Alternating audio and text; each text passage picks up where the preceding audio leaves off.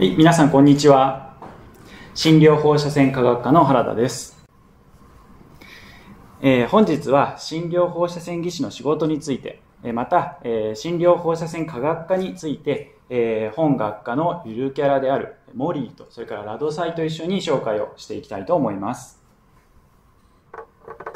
えー、まず、診療放射線技師という仕事なんですけれども、まあ、皆さん、えー、スライドにあるえー、アニメとか、それからテレビドラマでよく目にしたり耳にしたりすることが多いかなとは思います、最近ですね。えー、診療放射線技師というのは、放射線を用いた検査や、それから画像診断、治療に携わる医療技術職のことです。えー、日本で医師と歯科医師以外で、え人体に放射線を当てることが、え認められているのは、診療放射線技師だけですので、とても専門性の高い職種であり、まあ、それゆえにとてもやりがいのある仕事であると言えると思います。診療放射線技師の仕事には、画像診断検査、放射線治療、放射線危機管理、そして放射線被曝管理といった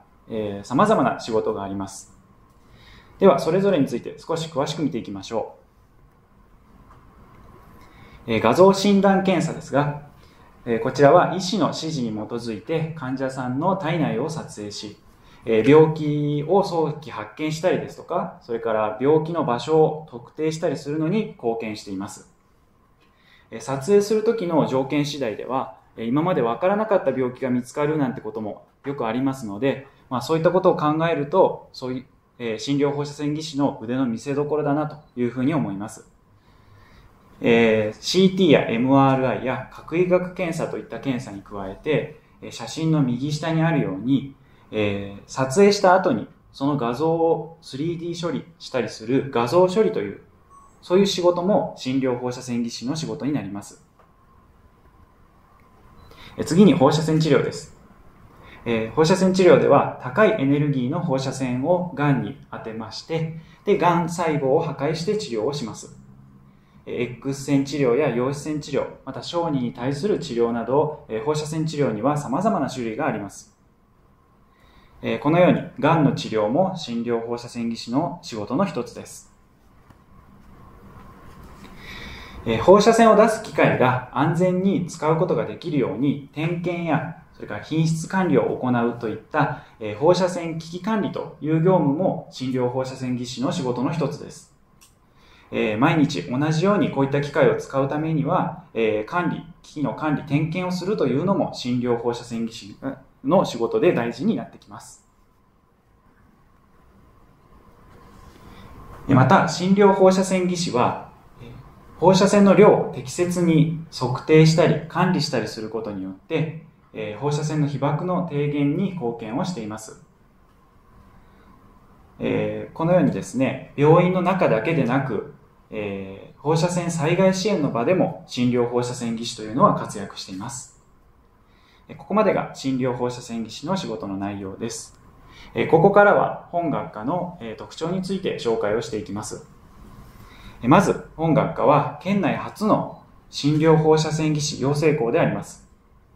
定員25名の少人数制のため、学生一人一人がきめ細やかな教育を受けることができます。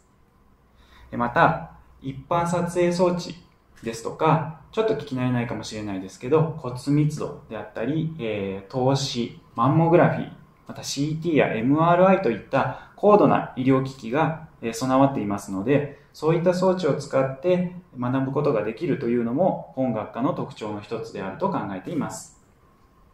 さらに、付属病院だけではなく、県内各地の医療施設で実習ができるというのも特徴です。